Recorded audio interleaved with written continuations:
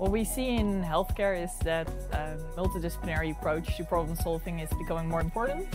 And this summer school provides students with the opportunity to learn how to work with data science and AI in a multidisciplinary team.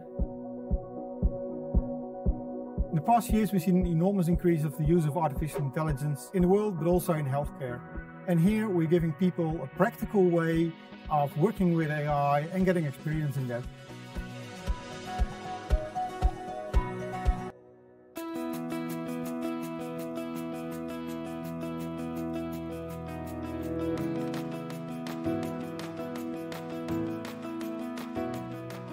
It exceeded my expectations. It was very like socially and academically fulfilling, very like busy.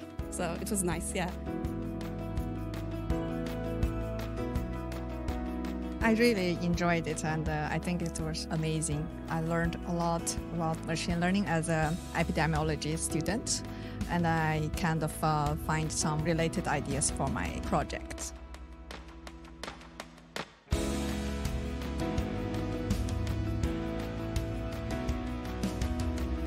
Yeah, it was a great experience. Um, I didn't really know what to expect when I came here. I was really excited.